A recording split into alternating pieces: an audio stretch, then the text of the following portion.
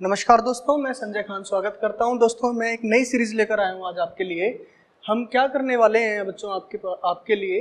हम हर वीक में मॉक टेस्ट के सॉल्यूशंस के जस्ट साथ में कुछ एक क्वेश्चंस की सीरीज़ लाएँगे, जो पर्टिकुलर किसी एक अच्छे टॉपिक से रिलेटेड होंगी। आज इस सीरीज़ का पहला एपिसोड मैं शूट कर रहा हूँ, जो मैंने चुना है टॉपिक वो है आपकी क्वाड्रेटिक इक्वेशंस जिसमें रूट से रिलेटेड क्वेश्चंस जर्नली बच्चों को परेशान करते हैं, क्योंकि ऐसे सवाल की प्रैक्टिस बच्चा ज़्यादा कर नहीं पाता है। लेकिन मैं पर्टिकुलर टॉपिक का सुपर शॉर्टकट लेकर आया हूँ, कुछ चुनिंदा सवालों के साथ मैं आपको इसको समझाता हूँ कि अगर कोई भी इक्वेशन है जो कि रिप्रेजेंट कर सकते हो आप a x square plus b x plus c बराबर ज़ीरो से। तो दोस्तों, हमें कम से कम दो चीज़ें पता होनी ज़रूरी है। एक सम ऑफ़ रूट और एक प्रोडक्ट ऑफ़ रूट तो मैं आपको कुछ सुपर शॉर्टकट्स लिखवाऊँगा अभी इक्वेशंस के, जिससे आप कोई भी क्वेश्चन जल्दी से जल्दी सॉल्व कर सकते हो। A x square plus b x plus c में सम ऑफ़ रूट होता है माइनस बी बाई ए और प्रोडक्ट ऑफ़ रूट होता है दोस्तों सी बाई ए जहाँ इस इक्वेशन की पावर दो के आधार पर इसकी नंबर ऑफ़ जीरोस दो होंगी, यानी इसके कितने रूट पॉसिबल होंगे? दो रूट पॉसिबल होंगे, जिसमें सम ऑफ़ रूट होगा माइनस बी बाई ए और प्रोडक्ट ऑफ़ रूट होगा सी बाई ए कभी भी ऐसा सवाल आ जाए कि which of the following equation है सम ऑफ़ रूट्स फाइव तो आप देखो कि इनमें से माइनस बी बाई ए करने पर पाँच कहाँ बन रहा है? पहले इक्वेशन में।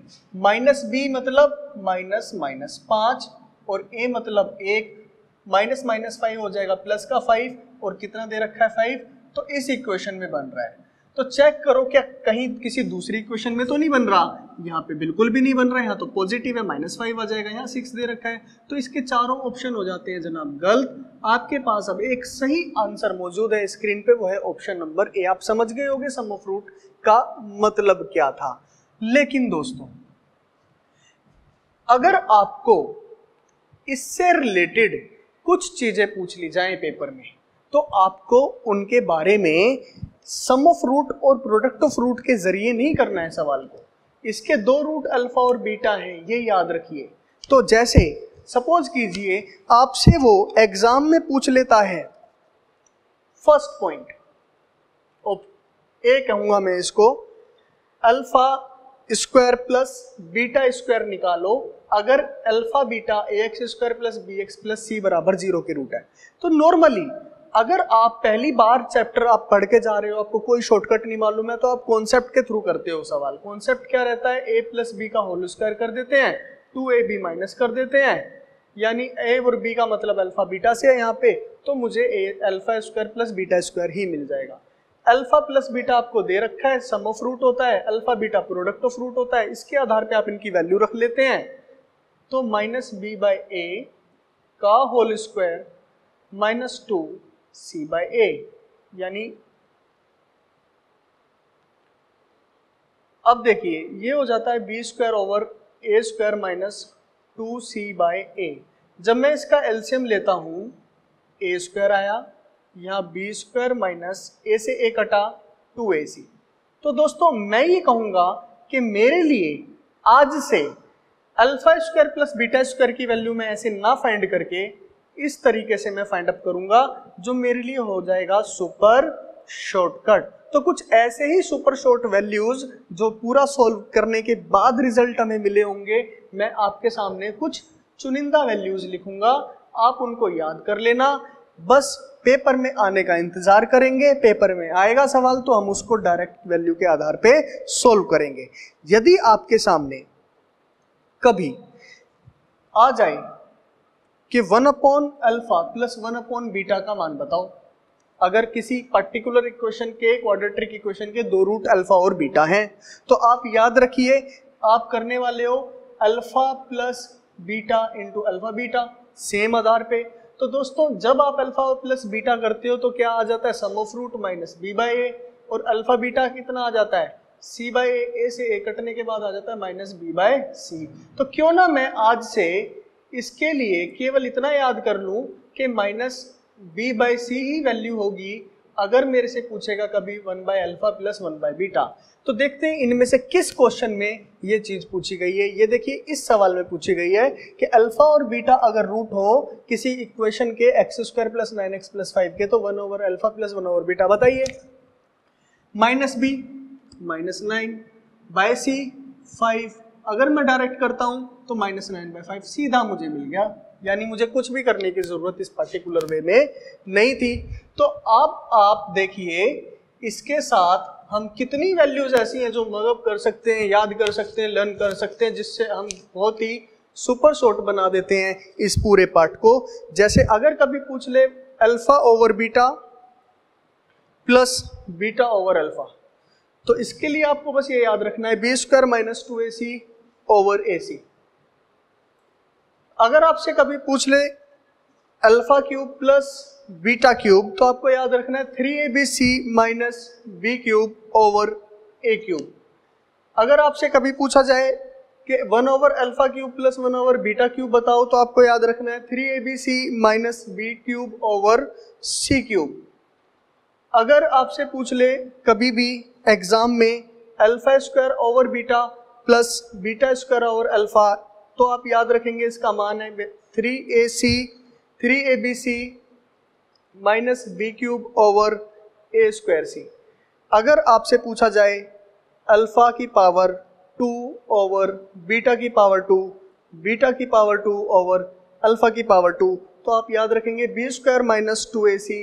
का whole square by a square c square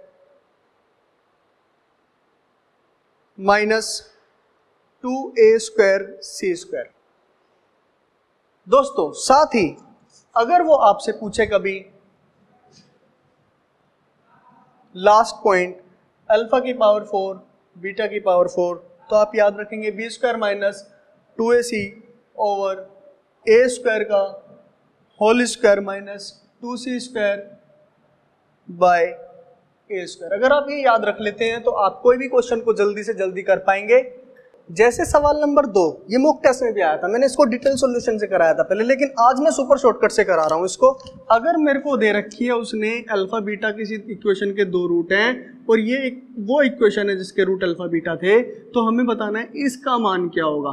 तो हम बेसिकली क्या करने वाले हैं? Alpha square by beta square beta square by alpha square हमें पता रहेगा कि अल्फ़ा बीटा कभी भी किसी भी इक्वेशन के रूट होंगे तो इसकी वैल्यू दोस्तों होने वाली है b square minus two a c का whole square minus two a square c square over a square c square ये वैल्यू होने वाली है दोस्तों, याद रखिए alpha square by beta square plus beta square by alpha square अब यहाँ पे ए बी और सी तो आप यहाँ से देख ही लोगे। आप इसको कंपेयर कर लो x square plus b x plus c से। तो ए का मान कितना है दोस्तों? एक बी का मान कितना है? माइनस पी माइनस पी का whole square two a c का whole square minus two a square means one square, c square means q square, over a square, c square means q square. अब जरा मैं इसको solve करके देखता हूँ। तो ये क्या बनता है? ये बनता है p square minus two q का whole square minus two q square over q square तो देखो कितना सरल तरीके से, जैसे ही होल स्क्वायर खोलूँगा तो ये आंसर होगा। A square b square two a b